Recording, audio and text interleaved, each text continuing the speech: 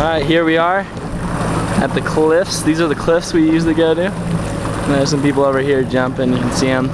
Those are there's some smaller ones over there, they go about 27 feet. That's But up here is where it gets bigger. Luke's up there about to jump. It's uh, about, that's about 32, 33 feet. And up there's about 40. Alright, whenever you're ready.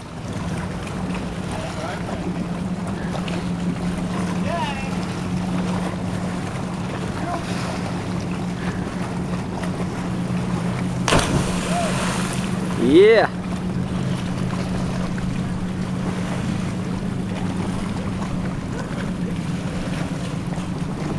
Nice. Woo. Ferris Bueller, you're my hero. Alright, my turn. Alright, here's Sean. This is so high, man. Jumping off of a cliff. Oh my gosh. Should have died right there. Is he alive? Is he alive? Oh my goodness, that man is insane. How does he do it? It's like a fish. That.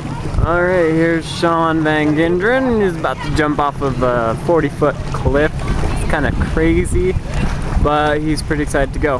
And here he goes. He's gonna jump, he's gonna jump. I'm so excited. Here he comes. I hope he doesn't die. That'd not be good. No bueno, man. There he goes.